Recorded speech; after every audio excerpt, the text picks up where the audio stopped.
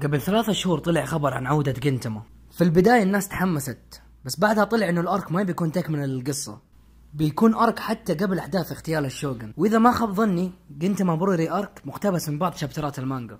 معاكم مقدمكم مصعب وزاد من خلف الكواليس. واليوم بقول لكم هل عودة جنتما سلبية أو إيجابية؟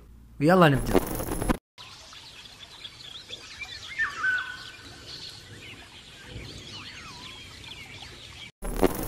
عودة جنتما في يناير 2017 كانت حرفيا أسطورية. جنتما أثبت انه مو لازم الأرك يكون طويل عشان يكون رهيب زي بعض الأنميات. يعني سووا 12 حلقة وكان فيها أشياء رهيبة أكثر من اللي أنا متوقعه بكثير.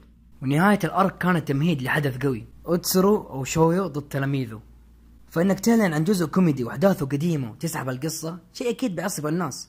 وأنا كنت من الناس اللي مو عجبهم رجعة جنتما الأخيرة اللي هي يوم الأحد. بس حاليا تغير رأيي مانجا جنتما خشت الأرك الأخير من يوليو 2016 وإلى الآن ما انتهى الأرك. فمن صالحنا إنه ما نزل تكمله للقصه لأنه ماني فايق نزل 12 حلقة بعدين يوقف 6 شهور أو سنة.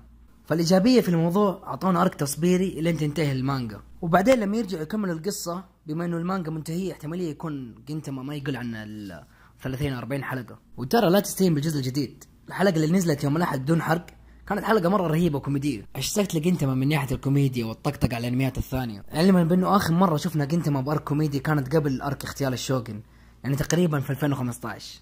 فإنه جنتما بوريري arc يرجع الكوميديا أكيد بيكون شيء رهيب، ويلا نروح للإيجابيات والسلبيات. عودة جنتما بجزء كوميدي، هذه الحالة إيجابية. ثاني إيجابية، عدم إكمال القصة، عشان مرة واحدة يسووا لنا arc 30 40 حلقة، أما السلبيات ما أتوقع في سلبية، إلا إنه جنتما بينتهي قريب. ما أتوقع بنلاقي أنمي زي جنتما مهما مر الزمن. وبس هل تتفقوا معاي ولا لا؟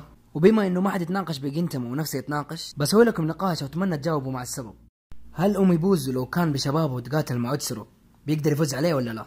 مع السبب طبعا. وبس أتمنى عجبكم الفيديو لا تنسوا ال like والاشتراك. كان معاكم مصعب وزاد من خلف الكواليس والسلام عليكم.